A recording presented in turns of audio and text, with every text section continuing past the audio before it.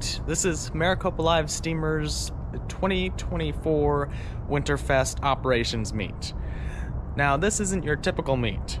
You have people come from different places to operate their equipment, but this is railroad operations basis. This place and at least Train Mountain do this, have an event like this. This is in the winter, Train Mountain does theirs in the summer.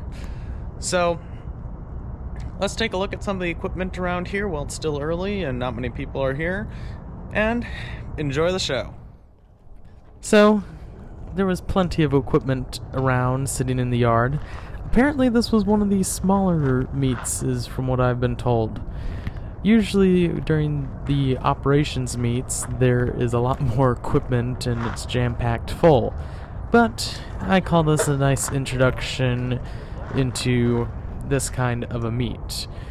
So, everyone who came to the meet, or even just club members, allowed their equipment to be used for freight operations. They were set out on the many various spurs that the club has on their track, and they were picked up or dropped off accordingly.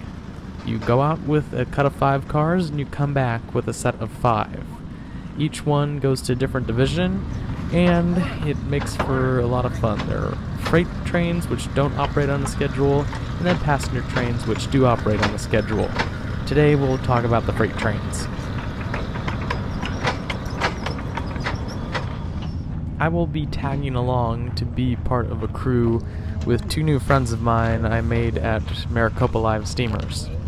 So, without any further ado, let's get out on the main line and start doing some road switching. First thing to do was go to the staging yard and pick up a cut of five cars. Then we are giving a set of cards, car cards, which go to each respective train car in our consist. Each cut of cars is assigned to one of a number of different divisions.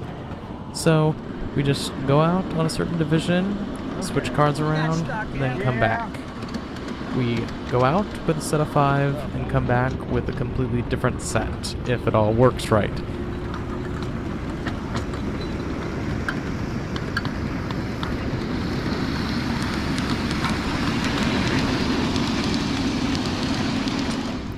Here are some of the switching moves that we had to make at the end of what is called the Warner subdivision. We had to spot one car in place and then take one car that should be in that spot already.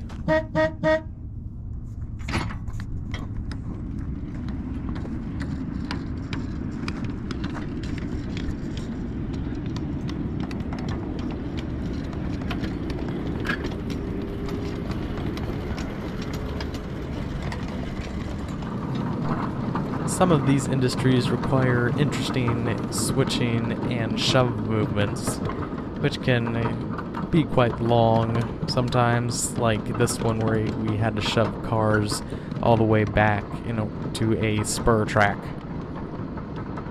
One thing we have to watch out for, and this is the second time that happened, was a passenger train.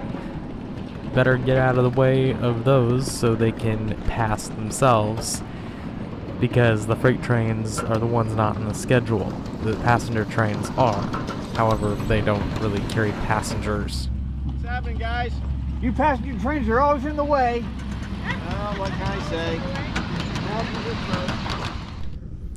As you go to each location and switch cars in and out, at each station, so to speak, there is a sign that has a set of cards, a card holder, with each car that is at that location.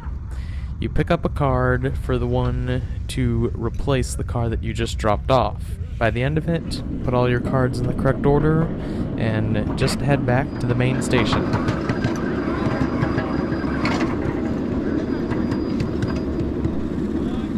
Since there are a lot of people out on the many different divisions of track out at the club during a meet, there tends to be a bit of a bottleneck when everyone comes into the station at once, especially when it comes to lunchtime, or even dinner for that matter. So, we have a signal system here for things to work out a bit better. So it goes one at a time, and people have a certain order to go in who's first and who's next. Now, as you head into the yard, there's some various buttons that allow you to direct yourself to flip switches in order to get to the right yard. In this case, the freight yard and not the station. Stations for passenger trains only. Freight yard is for freight operation trains only. As well, this is where the trains get switched and moved about, ready for the next person to take a cut of cars and start the whole process all over again. This lasts for about three days or so, and next time I will talk to you about passenger trains. So stay tuned for that, and until next time, this is Nate's Vintage Trains. Keep it old school, Jesus loves you, and God bless you all.